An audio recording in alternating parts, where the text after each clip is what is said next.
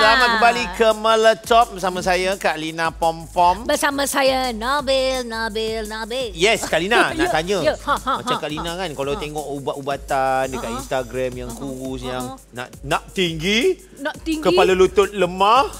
ha, Kak Lina beli tak? Eh, Kak Ina beli sebab Kak Ina nampak macam wow je. Ah, Kenapa, kenapa, kenapa, Nabil? So hari ni kita nak sembang pasal benda tu boleh beli ke tak boleh beli. Oh. Ah, Okey, so jadi sekarang, ni ni uh, Kementerian Kesihatan Malaysia tengah mengadakan kempen kesedaran waspada pembelian ubat online hashtag biar betul iklan ni.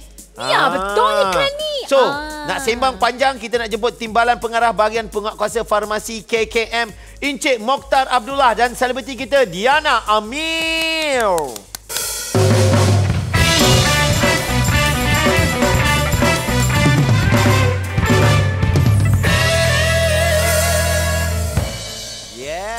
Assalamualaikum. Khabar? Silakan. Waalaikumsalam warahmatullahi wabarakatuh.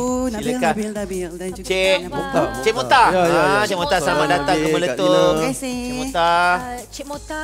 Ya, ya Eh, Kak eh, Lina. eh, lembutnya. Oh, oh, ke, oh tak boleh. Uh, Boleh, boleh, uh, boleh. Cik Mota dah makan ke belum? Belum Kak Lina. Oh, sekejap lagi kita belanja. Maksud Saya dia Cik Mukhtar dah makan belum ubat-ubat yang jual dekat Instagram tu? Banyak ubat yang saya makan Nabil. Banyak. Tapi berdaftar ubat semua. Ah. Okey. Ah, okey. Alright. So sebenarnya kita cerita sikit lah. Apa dia tu kempen kesedaran waspada pembelian ubat online hashtag biar betul iklan ni. Ah. Okey.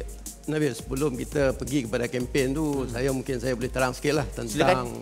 apakah peranan uh, bahagian perkhidmatan farmasi Kementerian Kesihatan Malaysia ni. Kita di uh, bahagian perkhidmatan farmasi ini, tugas utama kita untuk memastikan semua produk di pasaran lah, di pasaran Malaysia ni adalah selamat, Betul? bermutu dan berkesan. Ah. Ya, itu itu memang memang tujuan utama kita. Okey. Kita melakukan pelbagai uh, aktiviti dan penguatkuasaan kan untuk memastikan semua ubat tu adalah seperti, seperti tadilah selamat, Ah. bermutu dan berkesan. Dan juga um, sebab sekarang ni kita tahulah di era apa Digital maklumat ni. di, di hujung jari ni Kak Lina ya. Semuanya kita boleh dapat maklumat sama ada betul tak betul, Betul. kan. Jadi sekarang ni pun kita beri tumpuan lah kempen uh, terhadap waspada pembelian ubat secara online. Sebab Biar banyak kan ubat Ya, banyak, Instagram banyak. semua banyak. Boleh beli tapi kena check dulu lah. Betul betul betul. Okey, Nanti jadi kalau macam tu sekarang tengah ada kempen kan. Jadi apakah antara langkah yang diambil bagi uh, menangani iklan uh, ubatan ni dekat dalam media sosial ni? Okey, um, uh, di dia nak nak Diana jawab ke mungkin apa? Diana Dia pun nak- Ah, boleh. ha? Silakan silakan. Okey, uh, bismillahirrahmanirrahim. Allahumma salli ala Muhammad. Okey, antara langkah-langkahnya, cik terus saya masuk Boleh jawapan boleh exam dik. kan? Boleh, boleh. Ah, boleh.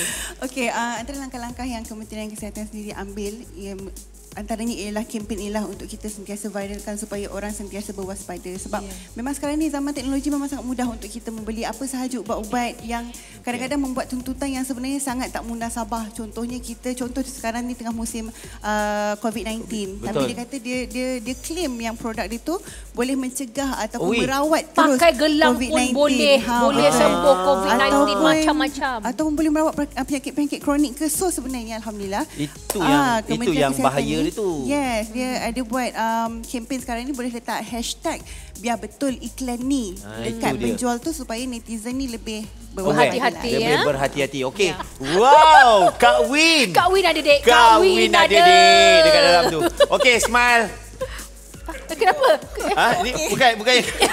ini apa benda ni? Uh, ni, bang. Kamera, kamera yang dulu kamera. tu. Eh, bukan Inilah. eh? Scan, scan. Ya, ini adalah satu peralatan yang kita boleh Ah. uh, tengok ketulinan hologram.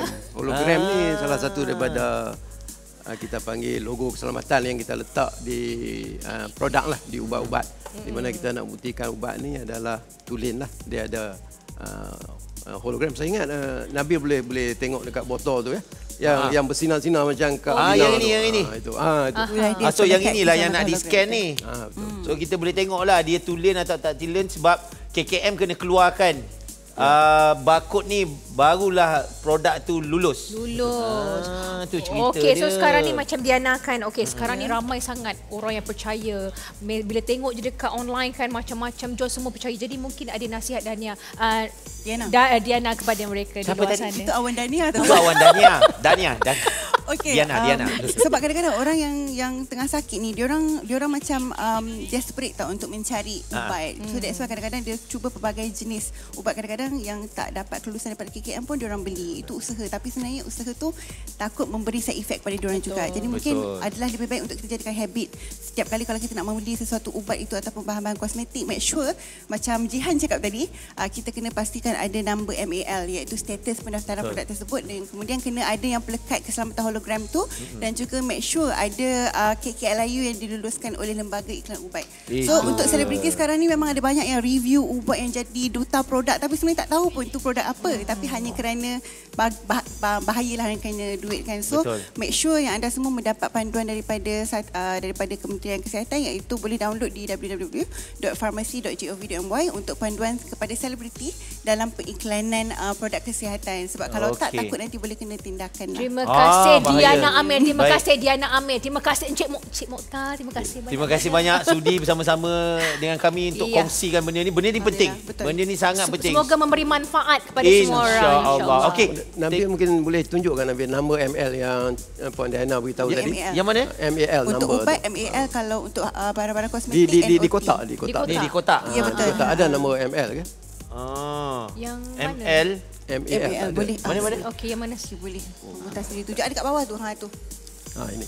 Mungkin boleh close up lah. So, dia ada. Dia ada MAL, kemudian ada 8 angka eh. Itu yang Kemudian- keluar daripada KKM. Ah, kemudian belakang dia ada abjad.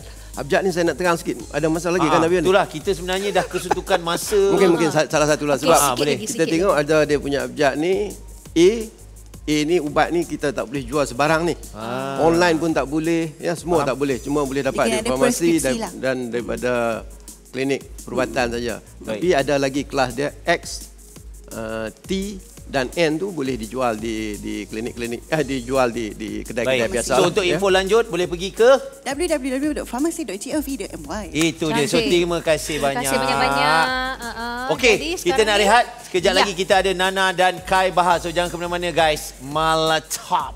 Pom.